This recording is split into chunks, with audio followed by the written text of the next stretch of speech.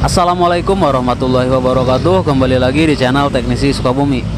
Oke jadi video ini merupakan kelanjutan dari video yang sebelumnya Yang udah saya bikin tutorial Cara mengatasi kepala bor goyang pada Boss GBM 350 RE atau yang 350 Nah ini untuk kepalanya oblak Dan seperti yang saya janjikan kemarin Bahwa saya akan membuatkan tutorial Cara membuat bossing yang ini.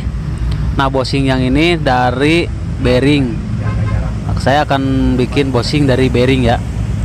Nah ini bossingnya udah kemakan jadi kepalanya goyang. Nah asnya udah nggak ngepres lagi. Kalau yang kemarin itu kan hanya diganjel dari bagian bodi belakang bagian bossing yang belakang kita ganjel karena bossing yang belakang kemarin kurang ngepres ke bodi karena bodinya udah sedikit kemakan. Namun yang ini yang belakang ngepres yang depan ngepres tapi asnya yang goyang. Nah itu bisa lah kalian lihat sendiri di sini bossingnya oblak banget. Nanti kita ganti bossing tengah. Untuk bagian bossing yang belakang ini masih bagus belum ada goyangan sama sekali. Jadi nggak akan saya ganti ya untuk bossing yang belakang. Di sini akan saya ganti bossing yang tengah aja atau bossing yang depan ini. Nah untuk cara bukanya kalian simak video ini ya. Nah untuk cara bukanya ini nggak bisa dari belakang guys. Beda dengan merek-merek lain seperti modern kayak gitu. Kalau yang modern kan bisa dibuka lewat gear ya. Jadi kita lepas dulu gearnya. Di sini biasanya ada spi namun yang ini enggak ada spinya guys. Di press. Nah jadi kita bukanya dari depan. Kepalanya kita lepas dulu. Untuk cara buka kepala silahkan kalian tonton video yang ada di link deskripsi. Oke sekarang kita pasang aja dulu ya karena kepalanya akan saya copot dulu. Sebelum kita lepaskan bosing kita buka dulu kepalanya. Oke kita tutup lagi. Dan kita buka kepalanya. Oke kepalanya udah lepas. Sekarang kita buka lagi bodinya.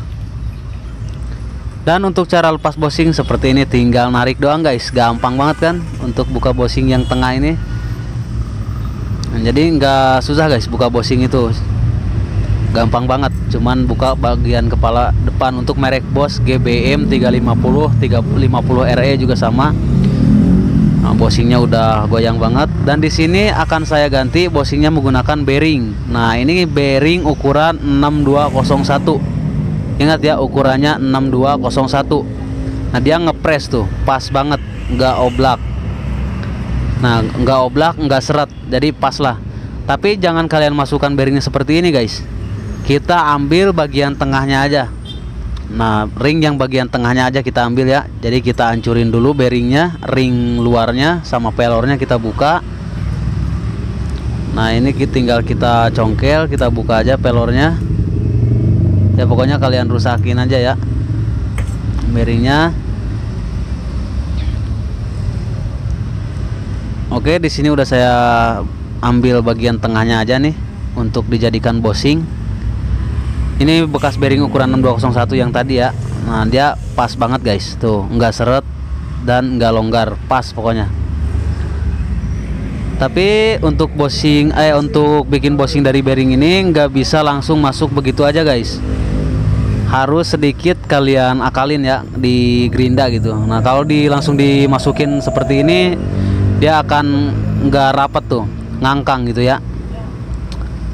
Nah, jadi nanti kalau dipasang body itu nggak bisa rapat nggak bisa ngepres nah kalian gerinda bagian samping sama samping aja samping kiri sama samping kanan kalian gerinda. Nggak usah keseluruhan guys di gerindanya hanya samping kiri sama samping kanan aja agar uh, masuk ya. Oke, di sini saya menggunakan mesin gerinda duduk aja, tapi kalian bisa menggunakan gerinda tangan kok asal hati-hati aja ya. Nah di sini saya menggunakan gerinda duduk. Oke untuk proses ngegerinda mungkin akan saya sedikit dicepatkan ya. Karena untuk menggerinda ini lumayan cukup memakan waktu juga nih guys. Jadi akan saya sedikit percepat aja nih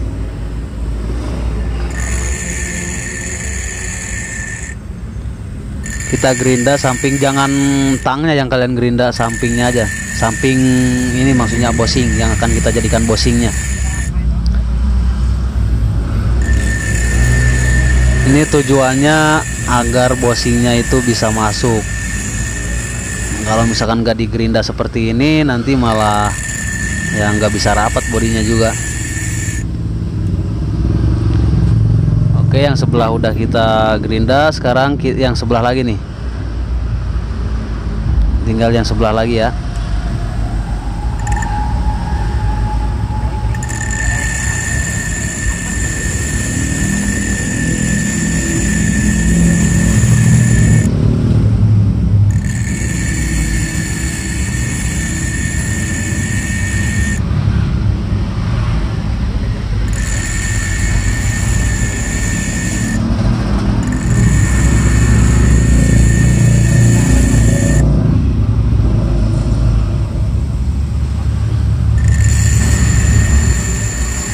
kalau udah selesai digerinda jangan langsung kalian e, masukkan ke bodinya ya.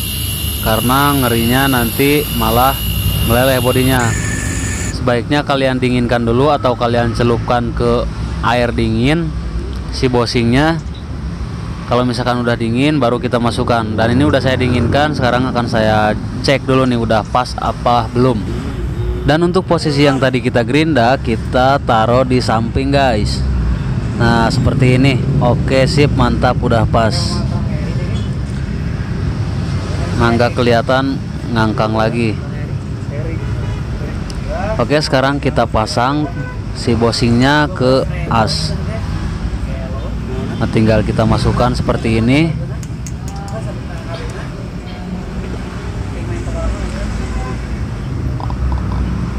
Oke udah mantap nih dan untuk bosing yang belakang masih pakai yang lama ya yang bawaan tadi. Untuk posisi bosing yang ini yang tadi kita gerinda kita taruh di samping guys. Ini ada ring kita ke belakangin seperti ini. Oke kita paskan. Oke mantap nih tuh nggak goyang lagi guys. Udah ngepres jika sudah sekarang akan saya coba tutup. Apakah bodinya ngangkat atau udah pas? Nah bisa kalian lihat sendiri bodinya nggak ngangkat ya. Udah ngepres banget. Nah dan asnya juga nggak goyang. Udah mantep nih. Oke sekarang akan saya tes dinyalakan dulu nih. Apakah seret muternya apa enggak Oke lah mantap nih. Ya, sekarang kita buka lagi lalu jangan lupa kita kasih stempet dulu kita kasih pelicin dulu ya di bagian asnya agar si bosingnya tambah lancar lagi guys. Di sini akan saya teteskan oli dulu.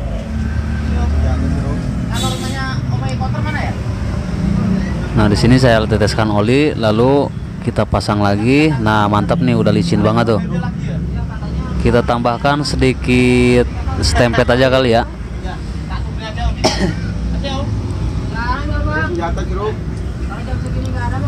Kita kasih sedikit stempet kalau kalian ada kalau gak ada ya gak usah cukup oli aja.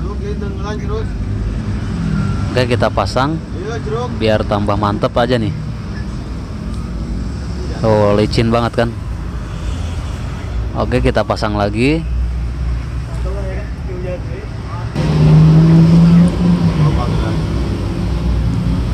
dan sekarang kita pasang lagi bodinya guys.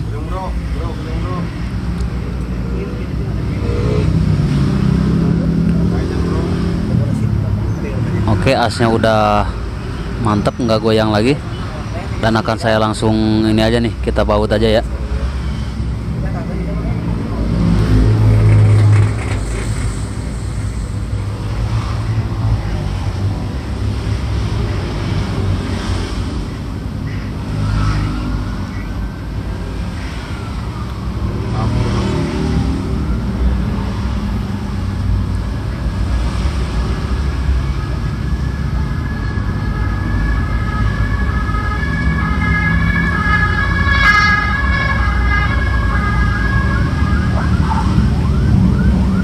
yang bagian depan nggak saya bawa dulu kita pasang kepalanya.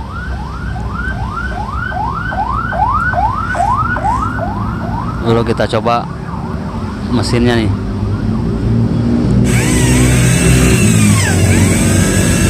Oke mantep udah lancar nggak seret sama sekali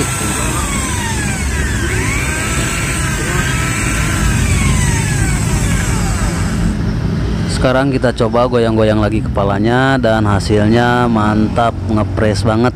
Nggak oblak sama sekali. Langsung aja kita pasang semua bautnya. Oke mungkin cukup sekian untuk cara membuat bosing mesin bor dari bearing atau dari kelaher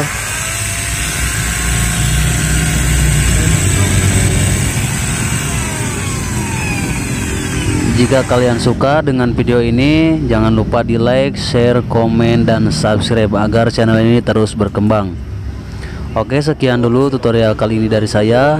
Sampai jumpa di video selanjutnya. Assalamualaikum warahmatullahi wabarakatuh.